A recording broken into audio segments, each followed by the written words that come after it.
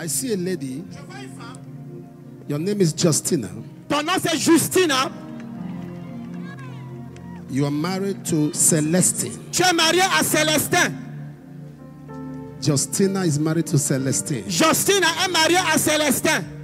God is releasing your own baby, your own. Le Seigneur relâche ton, ta part de bébé maintenant. God said, Come and carry your own child. Le Seigneur dit viens porter ton bébé. Justina is married to Celestine. Who is, the, Justine est mariée à Célestin. who is the person? Qui est cette personne? Nomumba, Nomumba, Nomumba. Who is Celestine? Qui est Célestin My husband Where is he? Il est où? Is in Boya. What is Mondemba? Mon- Muntemba. I'm from Mundimba. Je viens de Muntemba.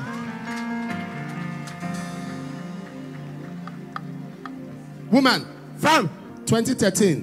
2013. You got married March 2013. Tu t'es mariée en mars 2013. 13th of March 2013. 13 mars 2013. Let me pray for you. Que je prie pour toi. In the realms of the spirit, Dans le règne de l'esprit, I see the hand of God je vois la main de Dieu coming upon your life, descendre sur ta vie, coming upon your husband. descendre sur ton mari, Because parce que God has decided to show you mercy. Dieu a décidé de te, montrer sa And as I'm praying for you, I'm praying. To... Look here, look here. Regarde ici. There are two children in your house. Il y a deux enfants dans ta maison. There are two children in your house. Il y a deux enfants dans ta maison. Wait, Attends, wait. attends. They are not your biological children. Ils ne sont pas tes ah. enfants bio- biologiques. Kendra. what's Kendra? Kendra, Ketira, Who is precious? qui est précieuse. My, my sister's daughter. But I'm seeing her in your house. Je la vois dans ta maison. Let me pray for you. Que je prie pour toi. Because you have decided to take care of other people's children. Parce que tu as décidé de prendre soin des enfants de d'autres personnes. Woman, Femme, why am I seeing something like, like white, like yogurt, like qu'est-ce que je vois comme les, Yogurt. comme les yaourts I do say yogurt.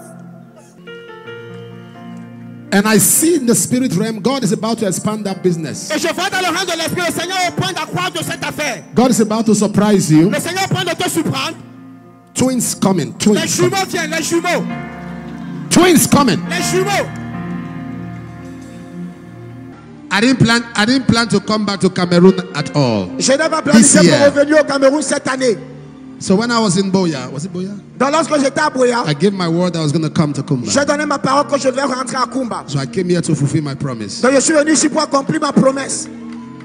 For the man that must make heaven, he must keep his words. Un homme qui doit, qui doit faire les choses doit garder sa parole. If you must make heaven, you must keep your words. Si c'est que tu dois aller au ciel, tu dois garder tes paroles. So I want you to say whatever you I want to say. Partout vous êtes, j'aimerais que vous dites, I love him je l'aime and I love what God is doing through him. et j'aime ce que Dieu fait à travers de lui. And one thing I want you to know Et une chose que j'aimerais que tu saches, is that the best is yet to come. c'est que le meilleur est en route pour venir. This is the beginning Ça, c'est le commencement of greatness, de la grandeur, of favor, des faveurs, of expansion. de l'expansion. You have churches in America, Tu auras les églises en Amérique, London, en Londres, Asia, en Asie, Middle East, en, en Amérique du till, till you will lose count of all the Jusqu'à ce que tu churches. vas perdre la compte. And I say this to you from my heart Et je te dis ceci de mon cœur, that what God has started for you, que ce que Dieu a planifié pour toi, anyone that looks for you to bless you, c'est quelqu'un qui regarde en toi pour te bénir. helpers will look for them to bless Les them. bienfaiteurs vont les chercher pour les bénir. Anyone that looks for you Tout le monde qui te cherche to honor you, pour t'honorer, helpers will honor them. les bienfaiteurs vont les honorer. Amen. Amen. I have a father in the Lord, J'ai un père dans le Seigneur. and when you hear my fathers talk about me, my father talk about me, Lorsque tu écoutes mon père parler de moi, when I say father, biological, spiritual. lorsque je parle de père, je parle one biologique et spirituel. do, want to hear them say is how I honor them. Une chose que j'aime, c'est quand ils disent comment je les honore. Once you are covered, Une fois que tu es couvert, you are covered lorsque tu es couvert by God's grace par la grâce de Dieu and by the good heart of a good man. et par le bon cœur d'un bon homme, There is no stopping you. il n'y a personne qui peut te stopper. So AGM, I love you Dans AGM, je vous aime and God bless you. et Dieu vous bénisse. You know, it's really strange to see how all of them are now running to Cameroon. Um, Johnson Suleman has been to Cameroon twice within this year, and uh, from the look of things, he might be going there for the third time or the fourth time. Who knows? And also, Jeremiah Omoto is also planning to go to Cameroon. So it makes you wonder what have they found in Cameroon that they are now or watching there. Makes you wonder because to the best of my knowledge, Cameroon has a lot of problems, right? So maybe they are going to fix those problems. Is that the reason they are rushing to Cameroon because they want to help Cameroon resolve her problems? And if that be the case, then the next question would be Have they succeeded in solving the problems that Nigeria has? Because Nigeria is technically a failed state, like the whole country is in total disorder. Insecurity is the order of the day. Inflation is killing the common Nigerians. For someone to eat in Nigeria is like a cage fight.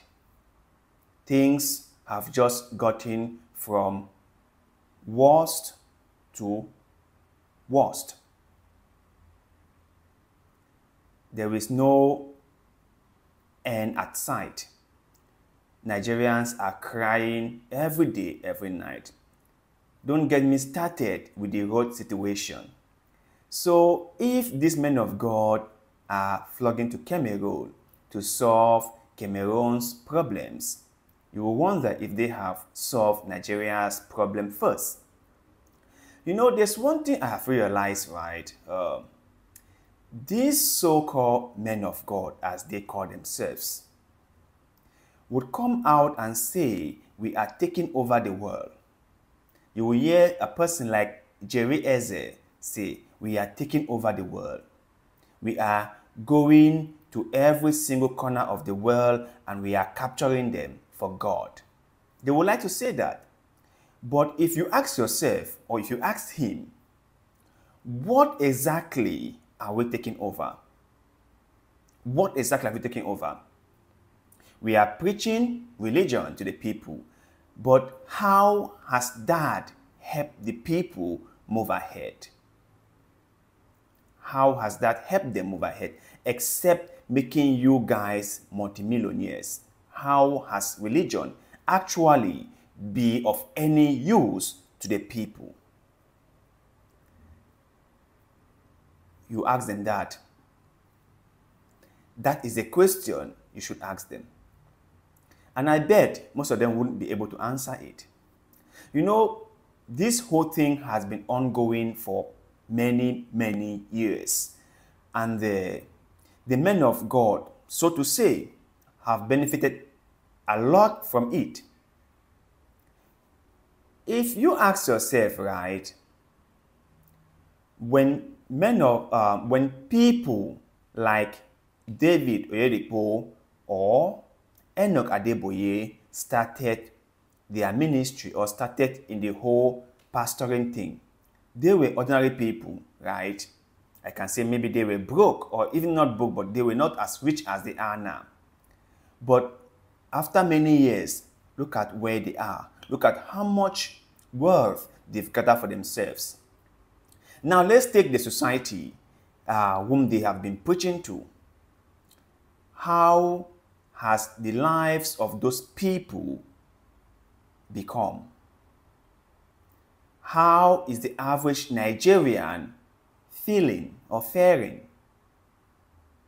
These are the questions you must ask yourself to really analyze if what they have been preaching has actually worked out or not. This is the question you must ask yourself. Because when I come out and talk about things like this, people feel like I just want to talk. But that's not the case. The thing is like, in order to measure if something is a success, right, you must be able to see the number of people who have benefited or who are benefiting from that thing. If a thing just benefit a handful of people, why it does not benefit a huge majority of the population, then that thing hasn't worked. It hasn't worked. And just so we are clear, religion as a whole, okay, or let's say what is being preached by these so called preachers isn't meant to benefit the people. It's meant to benefit the men of God or the preachers themselves. Because when they organize this crusade, do you know who benefit the most from it? The preachers and the organizers. When people go there, they gather their hard earned money and give it to those so called men of God. Those men of God leave those venues with a lot of money. And that's how they become successful. And what you get as the people is just empty promises. It's just the, the, the hope of better days ahead. What does that actually mean? No one knows. You might go to heaven. You might meet God. When? We don't know. Is it true? We don't know. We just believe it. But then you have given your money to men of God, or you have believed in what they've told you. This is really sad. No, this is really, really sad. And I feel so sad for all those people who are attending this so called crusade, thinking that it's going to change their lives 100% or 50% or whatever. I feel pity for them because, believe it or not, the crusade won't change your life. You have to change your life. Giving your heart and money to a man of God won't do you any good. You have to do the things you have to do to make your own life better. The man of God is just doing what he has to do to make his own life better. He's not thinking about your life, he's thinking about himself. So you have to think about yourself. Everyone has to think about themselves. No one will do the thinking for you. No one. No one will do it for you.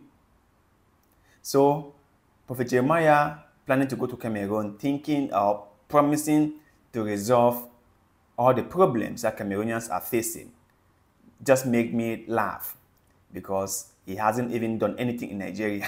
he has not fixed Nigeria's own problem. I wonder how he can begin to fix Cameroon's own problem. I wonder. And all those preachers who have been promising us better days ahead, they are the ones who are having the better days. We are suffering.